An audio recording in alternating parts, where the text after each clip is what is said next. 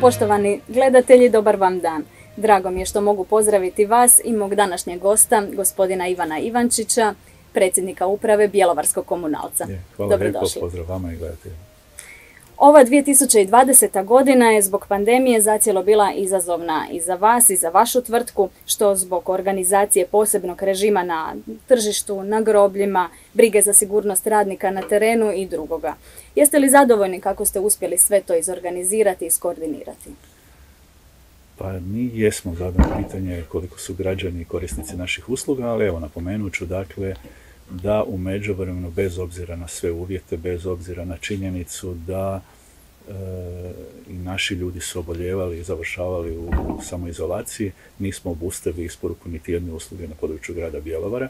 Dakle, iste su izvršavane sustavno, kvalitetno, tehnološko, organizacijski na primjeranoj razini, tako da nije bilo ovaj, ozbiljnijih zastoja. Ono što e, je bilo činjenica da je stožer nekim mjerama e, zatvarao i otvarao tržnicu i u to vrijeme nismo mogli raditi. Međutim, kad je bilo dozvoljeno, u najkraćem mogućem roku smo pristupili jel, uspostavi poslovnih procesa i e, vratili e, te, te naše objekte u funkciju. Tako da, evo, na, konačno, osim gubitaka dijela prihoda, nekakvih drugih, naravno i raste dijela troškova vezanih uz zaštitu, u principu drugih posljedica za korisnike nije bilo, niti su oni to mogli posebno osjetiti, dakle, u smislu načina funkcioniranja, posebno ove naše e, glavne noseće djelatnosti, to je odvoz otpada i smatram da je upravo ta djelatnost u ovakvim uvjetima iznimno važna da dobro funkcionira i to smo uspjeli sačuvati sve ove mjesece. U svakom slučaju.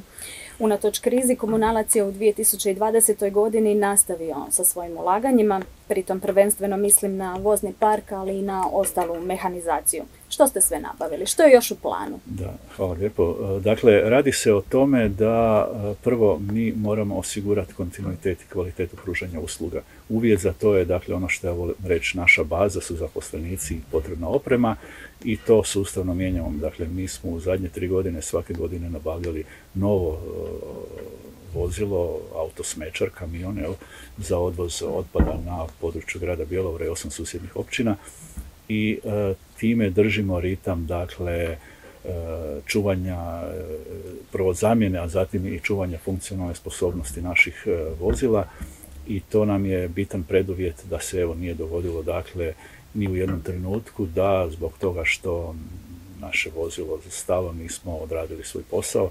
Dakle, to je jedna od stvari o kojoj posebnu pažnju posvećujemo u našem radu, dakle kontinuitet i sigurnost isporuke naših usluga, pa između ostalog i ovih. Između drugih ulaganja ja bih spomenuo i činjenicu da je u ovoj godini e, grad stigla e, pošiljka posuda spremnika za odvojeno prikupljanje otpada koje je nabavio grad Bjelovar jer su oni bili pozvani na kandidaturu od Fonda zaštite okoliša. Naš posao je bio to distribuirati, podijeliti, opremiti eko otoke na području grada i to je upravo u završnoj fazi. Dakle, to je ono što će dodatno pospješiti naš posao i dići e, standard e, ove usluge. Ono što isto tako ovaj, potrebno naglasiti, e, u funkciju je stavljeno i novo drugo reciklažno dvorište na području grada Bjelovara. Ono se nalazi na odlagalištu otpada Doline, isto tako uz financiranje fonda i grada Bjelovara i tu moram naglasiti e, velik udio grada u uspješnom funkcioniranju sustava gospodarenja otpadom na području našeg grada, ali i susjednih općina. I na kraju e, ono što isto tako predstavlja vrijedan iskorak je proširenje tijela odlagališta isto tako uz sufinanciranje grada, e, komunalca i Fonda za zaštitu okoliša. Ovo je jedan posao koji u narednom razdoblju treba doprinijeti e, prvo novim povećanju novih prihoda i novih korisnika jer se zatvaraju odlagališta na području cijele županije. Naše odlagalište je prepoznato kao ono koje će nastaviti funkcionirati u tom razdoblju i to je prilika evo da se i dodatno prihoduje od tog vrijednog infrastrukturnog objekta. Posljednjih godina puno ste uložili i u edukaciju stanovništva o važnosti pravilnog zbrinjavanja otpada. Jesu li ti napori urodili plodom? Koliko su bjelovarčani i stanovnici okolnih općina e, ekološki osvješteni? Da, rekao bih e, da je tu primjetan dobar uzlazni trend vrlo odgovornog odnosa prema gospodarenju otpadom, a to je jedna od sastavnica ukupnog sustava zaštite okoliša, ne samo u Bjelovara, nego i šire. Dakle, gospodarenje otpadom jedan od vrlo važnih segmenata i građani postaju toga sve svjesniji i uz one nekakve početne poteškoće i nesnalaženja kada smo mijenjali sustav odvoza otpada, kad se težište stavila na odvojeno prikupljanje oporabivih komponenti, a što je sve propisano e, zakonskim propisima i odlukama e, vlade, ministarstva. Dakle, uz ta nekakva nesnalaženja u početku, sustav je vrlo brzo profunkcionirao i dao svoje pune rezultate, tako da smo mi već u prvoj godini primjene ovog novog tarifnog sustava i načina odvoza i organizacije uopće te djelatnosti polučili povećanje od 50% odvojeno prikupljenih količina koje su propisane kao e, zakonska obveza odvojeno prikupljanje pružateljima javnih usluga tako da bilježimo značajan porast iz godine u godinu. Isto tako su ciljevi smanjenje količina koje se odlažu. Dakle, uz ovo što se odvojeno prikupi, e, treba raditi i na tome da se smanje količine otpada u nastajanju. I u tu isto tako bilježimo pozitivne trendove, tako da istovremeno i povećavamo odvojeno prikupljenje količine, što naravno utječe i na smanjenje količina koje se odlažu, ali i dodatno se smanjuju količine, dakle, zbog racionaliziranja postupanja naših korisnika.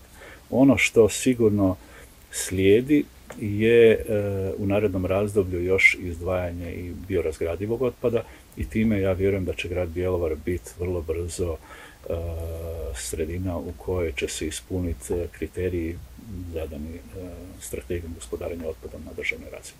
To je zapravo jedan jako dug proces, je li tako? Je, dug je proces, međutim činjenica da se približavamo zadanim ciljevima, E, naravno u suradnju sa građanima, u suradnju ih sa jedinicama lokalne samouprave koje su isto tako pozvane sudjelovati u, u izgradnji infrastrukture i edukacijama korisnika.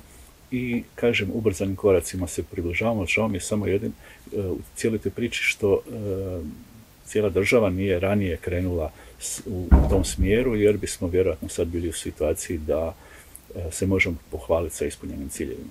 Jasno, da, rezultati bi bili možda i bolji. Da.